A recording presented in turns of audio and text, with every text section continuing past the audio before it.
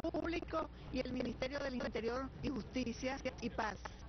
El comisario Suárez mm, Hidalgo. Hidalgo me acompaña en este momento. Vamos a proceder a inutilizar un grupo de armas, armas ah, de fuego que han sido incautados en distintos procedimientos delictivos, en distintos hechos delictivos. Y de, han sido incautados por la Policía Nacional Bolivariana en los últimos en las últimas semanas porque la manera como estamos actuando para garantizarles seguridad a la ciudadanía, seguridad y tranquilidad a la colectividad es que las armas que sean incautadas en un procedimiento delictivo inmediatamente se procede a hacerle la experticia para porque es importante para la investigación criminal tener la, la, experticia y luego de hecha esta experticia se procede a la inutilización de las armas. Y en este momento, aquí en la Plaza Parque Carabobo, en una actividad conjunta, vamos a proceder a inutilizar un determinado número de armas que han sido incautadas en estos procedimientos. Quiero señalar también que eh, en el marco del plan Patria Segura no solamente se están inutilizando las armas, sino que también estamos trabajando articuladamente todos los factores, es decir, eh, todos los operadores del sistema de justicia penal,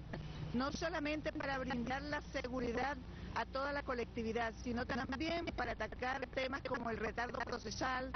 para que no haya impunidad, para que eh, los traslados se, eh, se hagan oportunamente, el traslado de los internos que van a ser llevados a un juicio o alguna audiencia. Hemos articulado en las últimas semanas y estamos seguros de que en muy pocos días la colectividad va a poder apreciar, observar los resultados de este, de este trabajo que se ha venido haciendo, además de articulado a través de un plan diseñado, un plan de, a través de una política criminal del Estado venezolano para atacar la, la delincuencia, para garantizar los derechos humanos y para que no haya impunidad. Bien, quisiéramos conocer ahora de parte del viceministro en todo este tiempo que va de año, cuántas armas han incautado y en cuántos procedimientos se han realizado. Lo más importante de este procedimiento que estamos haciendo es que se haga ver la articulación que existe entre el Ministerio del Poder Público y nosotros, y los organismos de seguridad del Estado. En este caso, la Policía Nacional Bolivariana. Ellos están dando fiel cumplimiento a la gaceta que rige la materia y prácticamente estamos matando el burocratismo. Lo estamos haciendo con el caso de los vehículos, que en el menor tiempo posible vamos a entregar ese vehículo a la persona que ha sido objeto de su hurto, de su robo. En este caso, vamos a, a inutilizar las armas